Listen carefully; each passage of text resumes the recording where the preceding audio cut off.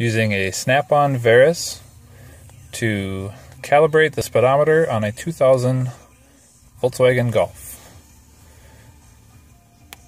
Select the vehicle, expert mode, scroll down to number 17, electronic instrument panel.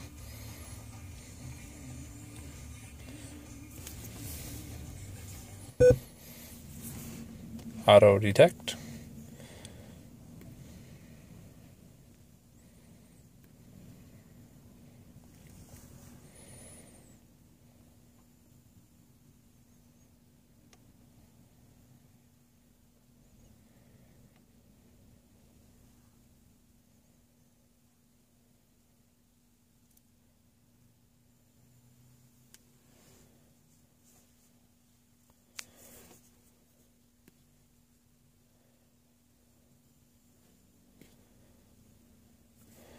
Go to number seven, ECU coding.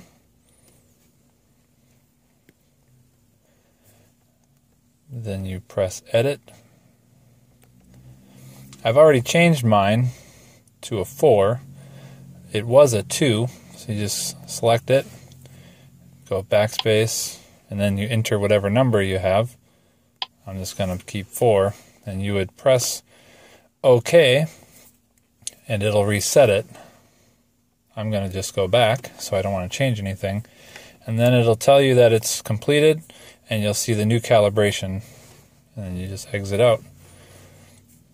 Stop communication.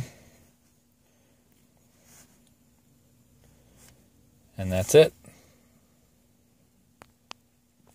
This is the procedure I used to change the accuracy of my speedometer.